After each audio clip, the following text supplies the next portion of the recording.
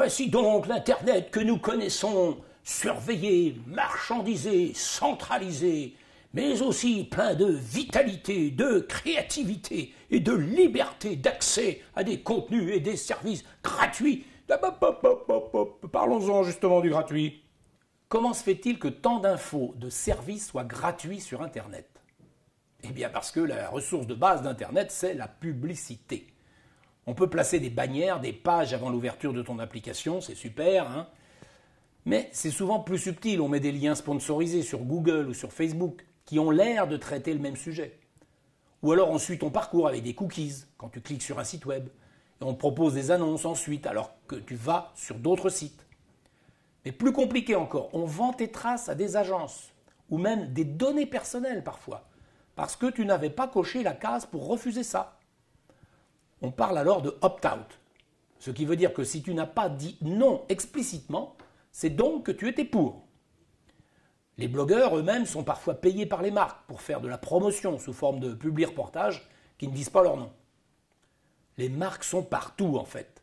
Mais ce sont les plateformes web, celles qu'on appelle GAFA, Google, Apple, Facebook et Amazon, qui sont les grands bénéficiaires de toute l'opération. Les plateformes vivent en fait de marchés à double versant, ou à plus même.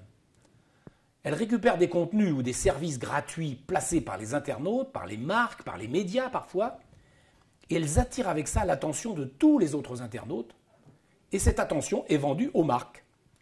L'expression si c'est gratuit, c'est que vous êtes le produit est tout à fait juste. Mais quand c'est gratuit, ça peut aussi devenir payant plus tard, pour des services premium, comme on l'a vu avec Deezer par exemple. Et puis les données des membres peuvent aussi être revendues. Et les plateformes permettent aussi aux internautes de se rémunérer, comme avec Airbnb qui prend sa commission au passage. Bref, les plateformes attirent tout le monde en revendant tout ce qui est possible.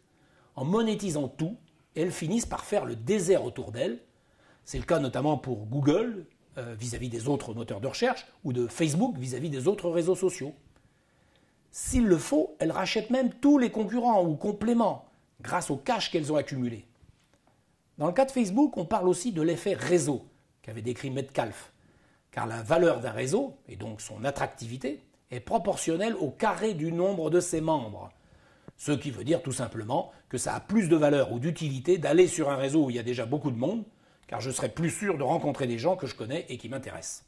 Et toutes les activités sont en train de passer sous la loi des plateformes, depuis les taxis avec Uber jusqu'aux cours universitaires avec Coursera. Inquiétant, non?